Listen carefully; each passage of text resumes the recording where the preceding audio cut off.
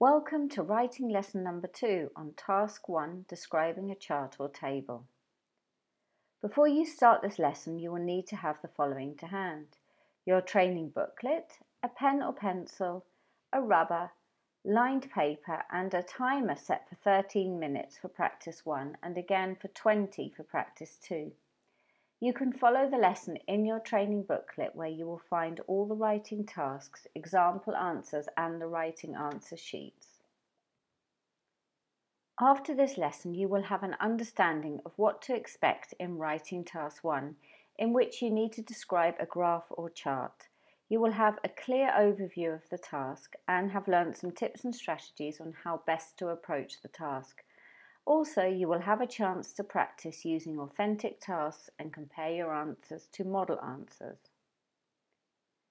Now we'll have a look at how task 1 is marked.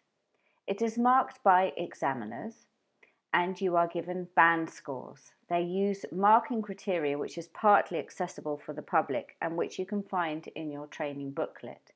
There are four criteria for the task. There's task achievement, cohesion and coherence, vocabulary, and grammar.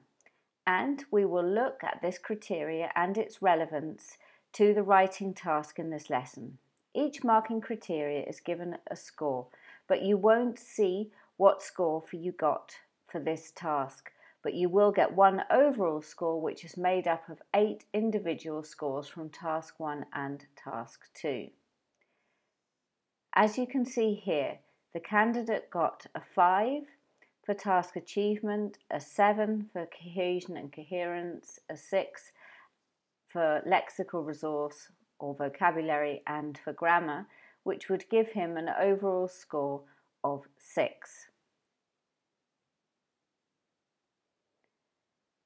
Task 1 can either be a graph, a chart or a table in which you have to describe the main trends and make comparisons if relevant.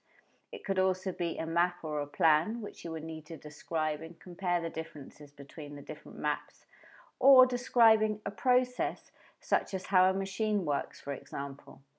In this lesson we are looking at the graph, table or chart description. In this first task, you have to describe a chart, a table or a graph in 150 words. You will need to use appropriate vocabulary for describing trends and you can find this vocabulary in your training booklets. You need to plan and structure your writing to help you write in a way that you can finish in the 20 minutes, including all the information you need and to get a good score and to make sure you have enough words. Now we're going to look at how to do this and practice. First of all, now we're going to practice together and first of all we're going to look at how to structure your writing and how long to spend on each stage. I have given you some recommended timings for completing these stages. They are very rough and you might find you need more or less time for each. Firstly, I will present the steps here to follow and then we'll go through each step in more detail and practice together after. First of all, let's look at the task in your training booklet. The first thing you have to do is to look at the task carefully. Read it very carefully, including the actual chart, table or graph itself. Then decide what is the overview, what are the main features. Um, you should take about a minute to do this. And don't forget, you're only thinking about it here, not actually writing anything. Then you need to take about a minute to write a short introduction. Then you can take three minutes to write an overview, 13 minutes to write the main body, one minute to write a conclusion, and the last minute to check your writing. Now we'll go through all these stages in more detail. First of all, you need to look at the, carefully at the task. Decide what's it about. Make sure you take time to understand what the diagram is showing and that you're not reading something incorrectly. Then you can decide what is the overview. If you hold the page away from you, sometimes you can see the overview better. This may sound odd thing to do, but try it. It only works for charts and graphs though, not tables. That way you don't focus on the numbers. Then you need to choose the main details and the main features. Here you have to choose the most significant features, but don't describe everything. Look at some ideas together. First of all, what's it about? Take a little bit of time to look at the chart and decide what's it about.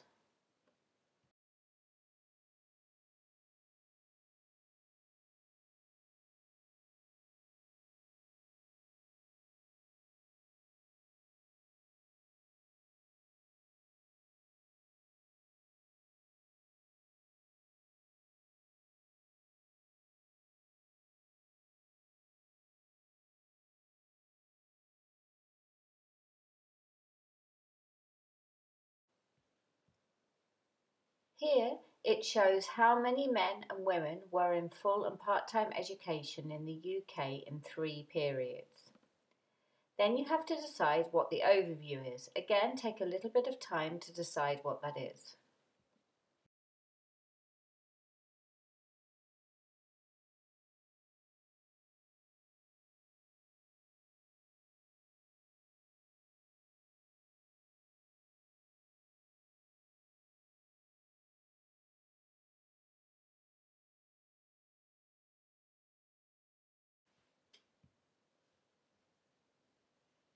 In general, you could say here there are always more people in part-time than full-time and numbers for both sexes increase in full-time education. Lastly, you have to choose or decide what are the main features. So again, I'll give you a little bit of time to look at that.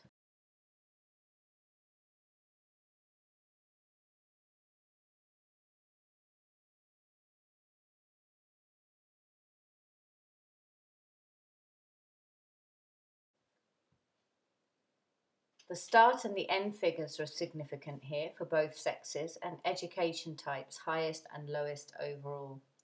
All of these things are important in order to get the score you need. So let's just go through those points again. First of all, you need to make sure you understand what the chart is about. Then you need a clear overview to get a score of over 5 in task achievement. And lastly, you have to include numbers and the main features to score over a 5. Now you should write a short introduction and you should include what the graph shows, where it is and when it is. So it's really important to include the what, where and when. Make sure you include all the relevant information and if there are two diagrams you need to write a short introduction to both. I will give you one minute now to write an introduction.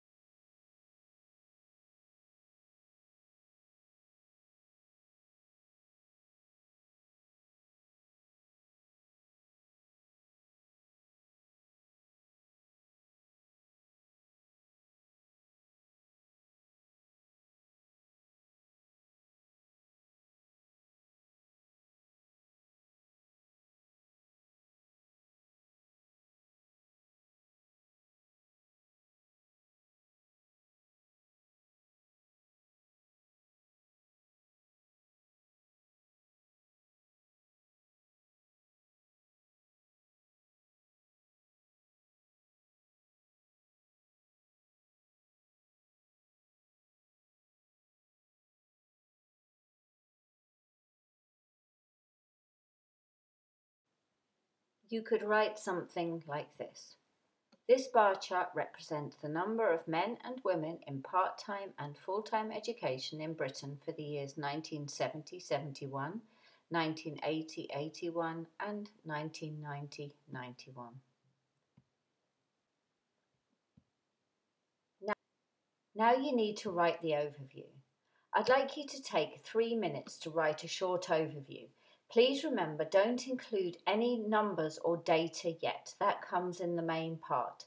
What's important is that you get a nice overview, a clear overview of what the task is showing. So what the table, the chart or the graph is showing. I'll give you three minutes to do that.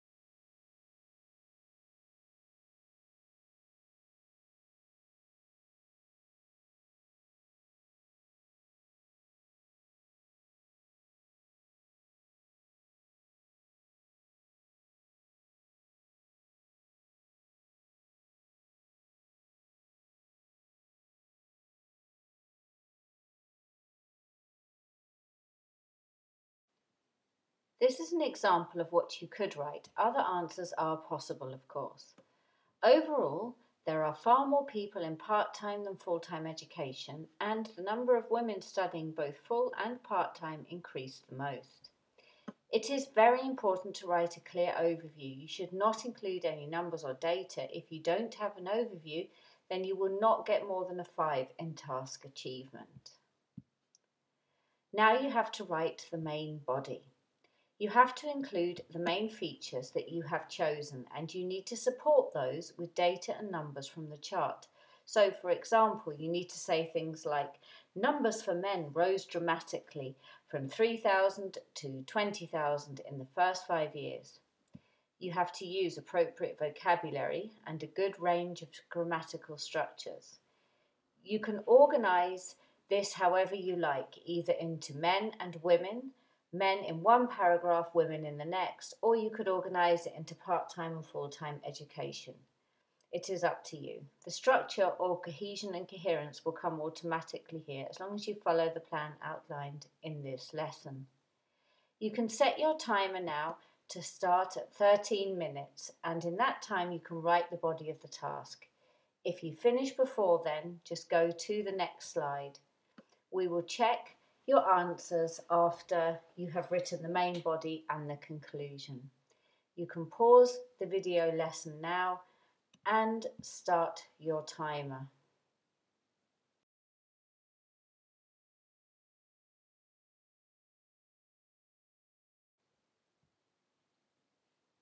Now you're going to write a short conclusion.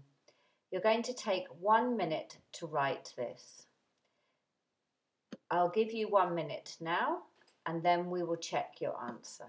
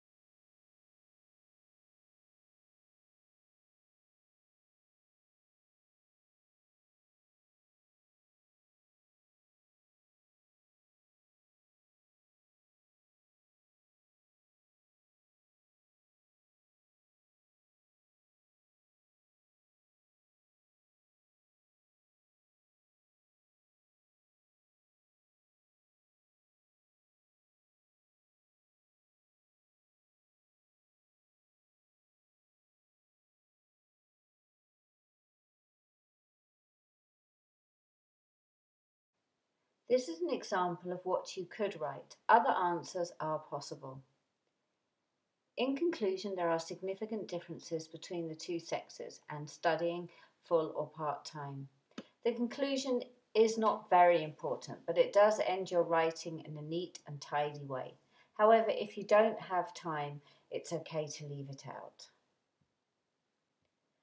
Now, now I'm going to give you a minute to check your writing you need to check for spelling mistakes, legibility, which means that you have to be able to read your writing, and punctuation. If you've added anything after you've finished writing, make sure it's easy to find. I'll give you one minute from now.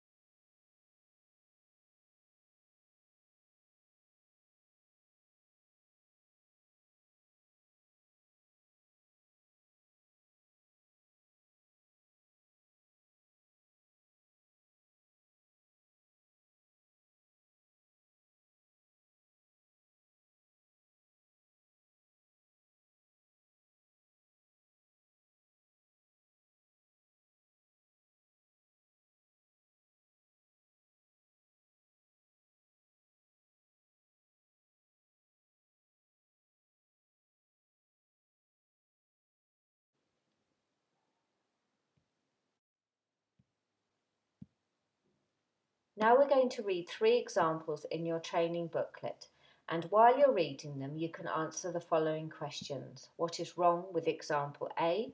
What is wrong with example B? And what is wrong with example C? Don't forget there might not be anything wrong with one or more of the examples. Then you can decide which, in your opinion, is the best. If there is anything wrong with them, they are not grammatical or lexical mistakes. You can take as long as you need to read through the exercises, but don't spend too long doing it. When you're reading through them, just press pause on this video and start the video again after you've finished and we'll go through the answers together.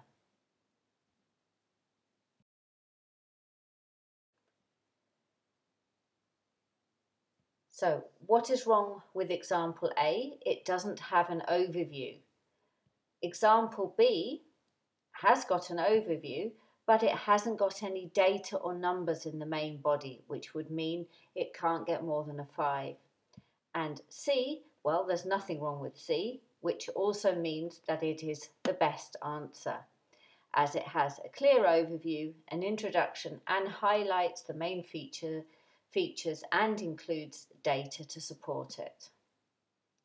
Now what you can do is just compare your writing to the answer in example C. Now go to practice 2 in your training booklet and you're going to practice writing a task 1 on your own in the set time of 20 minutes. So first of all you need to go to the practice task and set your timer for 20 minutes.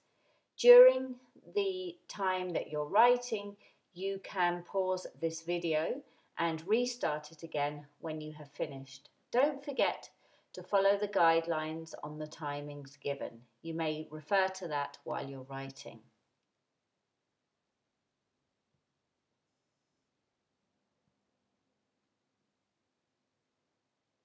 Once you finish, you can compare your answer to the model answer in your training booklet. If you would like feedback on any of your writing, please don't hesitate to contact us. That is the end of this lesson task on task one. Now, after a short quiz, that is the end of lesson two on task one graph description. Now, after a short quiz, you can go on to lesson three, which is on task one again, but this time on writing a map or plan description.